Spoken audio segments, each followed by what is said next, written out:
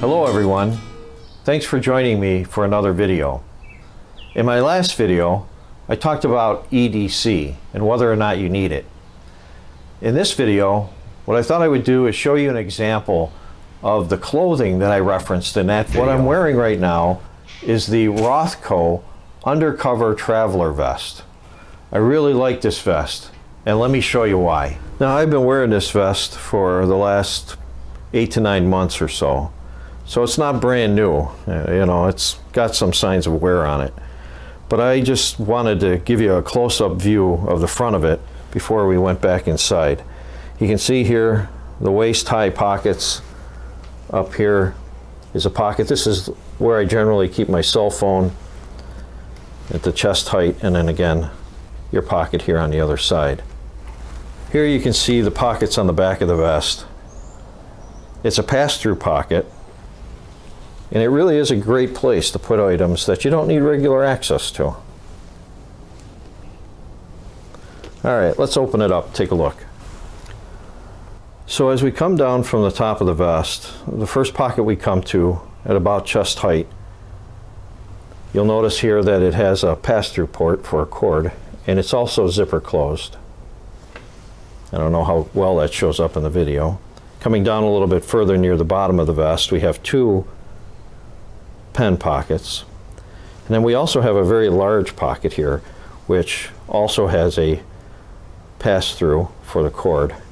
But this pocket is large enough to actually fit a pad in. So it's quite large, and it too seals with a zipper.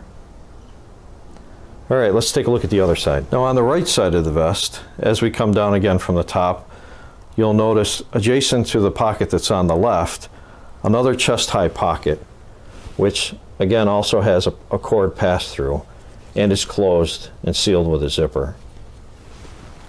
Come down a little bit further on this side, which is the right side again, we have two pockets here. Both of them also have zippers to enclose them as well. This pocket, which is located on the inside and the back, is a great place to hide important papers such as passports and the like. As I mentioned at the outset of this video, this is the Rothco Travel Undercover Travel Vest. The construction of the outer layer is 55% cotton, 45% polyester, and the liner is 65% polyester and 35% cotton. In my opinion, this is a great example of what I was talking about in my last video, which is EDC clothing. It's versatile, it's durable, and it gives you a lot of options with regards to carrying other items. Well, there you have it. My choice for an EDC vest. I hope that this video has maybe cleared up any confusion that you may have had with regards to EDC clothing that I was talking about in my last video. This is a perfect example, really, of what I was referring to. I hope you enjoyed the video. If you did, give it a thumbs up, subscribe for future videos, and don't forget to check out my Facebook page. There's a lot of content on that that doesn't necessarily show up on YouTube, and vice versa. So that's all for today. Take care.